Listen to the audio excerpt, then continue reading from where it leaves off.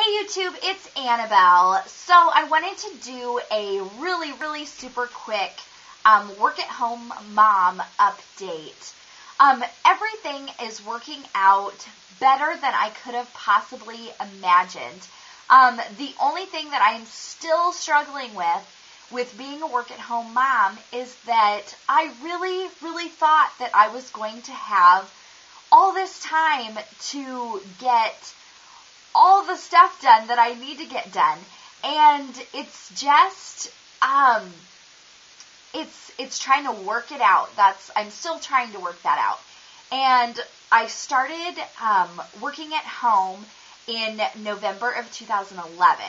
So, um, we are on month five of my work at home mom adventure, and it is super exciting. It is super amazing. It is super rewarding and it is completely awesome. Um, I love getting to spend all day, every day with our daughter, and just being able to be at home and accomplish um, the things that I want to, still working, um, and be, providing an income for our family because we do not have the resources for me to just be at home and I found something that I love to do. Um, it is a lot of work. Um, it is hard to find time to get everything that I need to do for my job during the day and attend to my daughter's needs and everything that I want um, for her. And it's it's it is a struggle, but it is the best thing that I've ever done all at the same time, all rolled into one. So, being a work at home mom and being with my daughter, um, we still get out of the house and we still do things. We still have play dates, so my daughter gets to socialize, um, even though she's not in um, a, a, daycare facility um, outside of our home.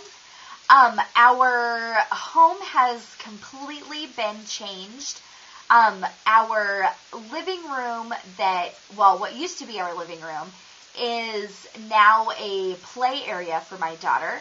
Um, so she has plenty of room and plenty of toys um, to play with um, during the day while I am being a work at home mom.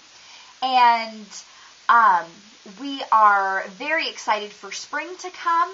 So we are looking um, at outdoor play equipment, stuff that we can put in our yard um, for my daughter to um, be able to grow with and be able to play outside once spring comes.